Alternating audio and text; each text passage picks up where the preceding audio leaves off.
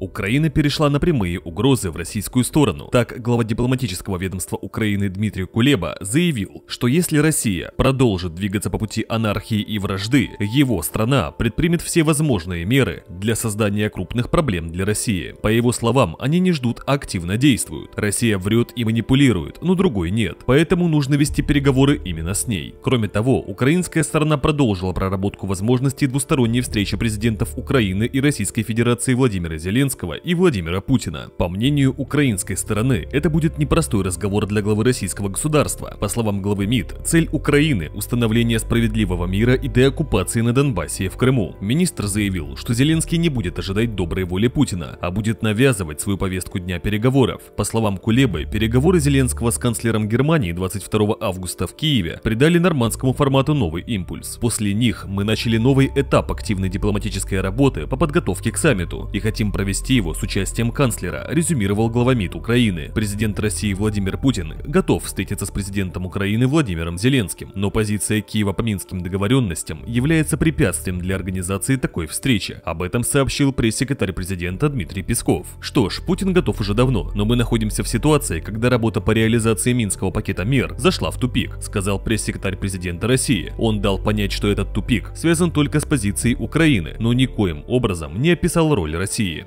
Украина не хочет уважать минские договоренности. Она хочет заменить минские договоренности чем-то другим, не называя это своими словами, добавил к своим заявлениям представитель президента. Кроме того, он указал на окрепшие связи между Турцией и Украиной. Песков подметил, что российская сторона не хочет, чтобы Украина использовала турецкое оружие на Донбассе, ведь могут пострадать невинные люди. Также пресс-секретарь подметил, что несмотря на истерические настроения украинской стороны по поводу газа, никто не собирается ее наказывать именно таким образом. Торговля газом на направлена сугубо на улучшение качества жизни самих россиян.